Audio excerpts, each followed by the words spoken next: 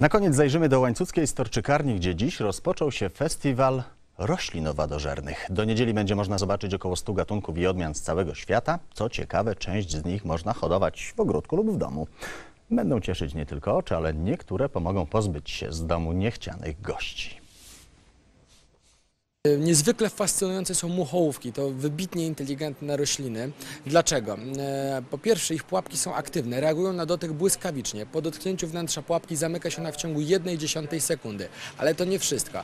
Muchołówki, można powiedzieć, są tak naprawdę leniwe. Nie chciały marnować swojej energii na przypadkowe zamykanie pułapek, dlatego w procesie ewolucji wykształciły wręcz perfekcyjny sposób weryfikacji tego, czy we wnętrzu pułapki znajdują się właściwe ofiary, czy też nie. Warto jeszcze pamiętać o e, kapturnicach. To, to takie wystające mm, nawet do metra wysokości.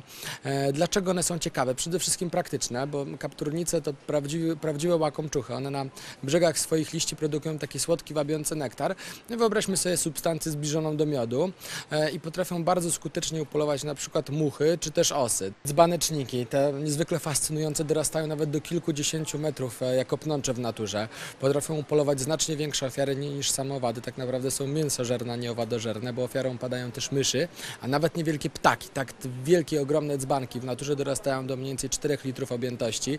Mm, Potrafią najpierw zwabić, a potem upolować tak duże ofiary. Rośliny owadożerne już poza tym, że to fantastyczna ozdoba, bo one przystosowując się tak naprawdę wabiąc do siebie owady, mm, są e, kapitalnie e, sympatyczne dla nas ze swojego wyglądu, bo te jaskrawe kolory, często czerwone, piękne kształty miały sprzyjać owadom, a tak naprawdę podobają się wybitnie nam. Są tak naprawdę setki gatunków. Są takie, które wymagają specjalistycznej opieki, ale wśród nich jest mnóstwo takich, które tak naprawdę na parapecie, bez żadnej specjalistycznej opieki, po prostu można m, podlewać i cieszyć swoje oczy, no a przede wszystkim będą dla nas praktyczne i pomocne.